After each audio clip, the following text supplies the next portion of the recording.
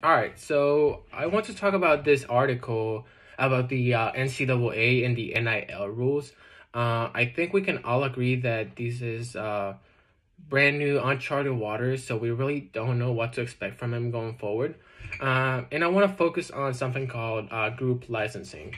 And I want to focus on the Florida State University women's soccer team that won the national championship. And the reason I want to talk about them is because um, they are the first team to be collectively uh, compensated for winning the national championship.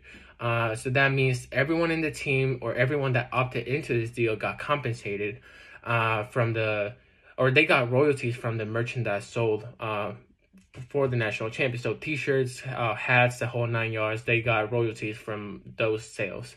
Uh, so these sales were made by another company called Breaking T um, because uh, the NCAA is not allowed to uh, directly compensate their uh, student athletes. So if uh, Florida State would have sold these T-shirts, they wouldn't have been able to compensate their uh, student athletes. Uh, so this deal was made by a third-party company called a collective. we'll see a lot of those going forward. Um, so they represent the student athletes, and they made this group um, group licensing deal with the NCAA. Uh, and I think it's really interesting how this topic will unravel going forward. Uh, like I said, this is um, uncharted waters for everyone, so we really don't know what's going to happen going forward. But uh, I think it's really interesting how this is going to translate to um, maybe football or basketball, which bring in a little more money.